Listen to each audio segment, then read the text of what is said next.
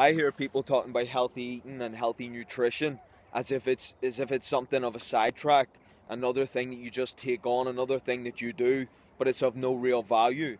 I can guarantee you this world that we live in, the the pollution in it, the amount of things that aren't running well, the amount of things that aren't bringing any benefit to your health.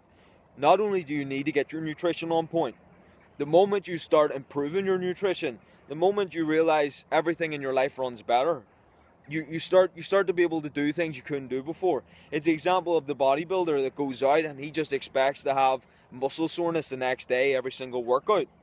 You could be eating as much protein as you want.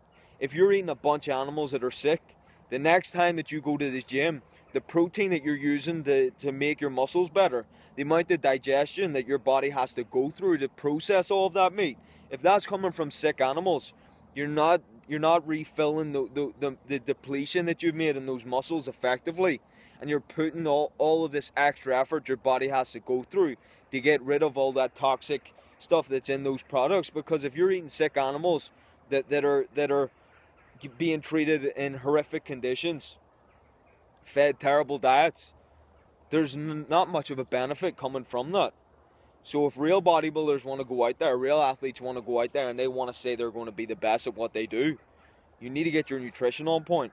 It's the same for the person out there that excels at what they do.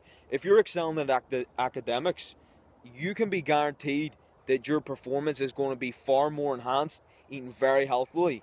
You're going to you're going to be able to work longer, think longer, think better, be able to push yourself, work more efficiently. So therefore you, you get you get an added benefit you're, you not only feel better, you're not only going to notice you're able to do more, your performance in whatever area it is is improving at a massive rate. It's the same with anywhere you go. There's there's been no area that people that are eating healthy don't notice a benefit. It's just that they don't get started, so they don't learn. Well, well, actually, after I've been eating healthy for two months now, I can realize different things change. My body runs better. I can smell better. I can taste better. I'm eating I'm eating these foods now that I used to eat, and I can taste it. They don't even taste like how food should taste anymore. That you can taste the, the, the massive amounts of sugar, the different chemicals in it, all the all the different products that make up that food that ju- just shouldn't be in there. And then you eat something that, that's just amazing, a healthy salad, and now you can start to notice after you eat that, you're able to go for longer. You don't feel tired halfway through the day. You don't need some kind of 3 p.m. nap you realize your body's so clean it's ready to push forward. People people will eat unhealthily all day and then they'll justify a 3 p.m. nap and more food to eat as if that's what's going to give them the energy. They don't realize what they've been eating has been just depleting their energy. You want to now be putting in foods that give you energy.